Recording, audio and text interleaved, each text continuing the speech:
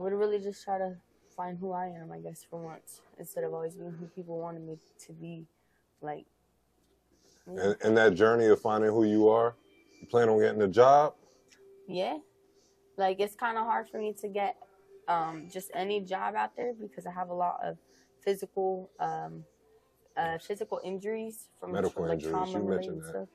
Okay. Yeah. So um, but like I'm especially drawn into anything in like the art type industries. Mhm. So like I just I got to start working on it so I can actually see where I can go. But if I have to get a job like something like I leveled out the front yard. Mhm. Uh, it was a gravel front yard and it was slanted, and I I took out cleared out the gravel on some of it. I leveled it out. I laid down some bricks and put a little. Uh, there was like some planters and some palm trees and made a walkway. Like it's tough. yeah, I mean, there was some other projects I did that were harder.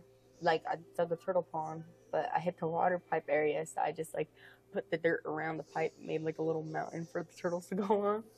But um, yeah, like I don't know, I'm really open to anything. I just want to try everything. I think I get bored too soon. Nothing wrong with that. You're still young. You know. Yeah, I think I'm just feel like I've lost my whole childhood. I I never really had any good childhood memories, but um, I feel like I'm just trying to go too fast to try to make up for that lost time, and I I realize I need to slow down.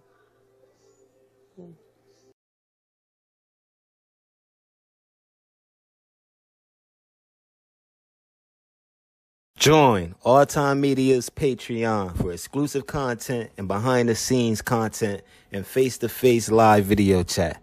Thank you guys. The link is in the description below.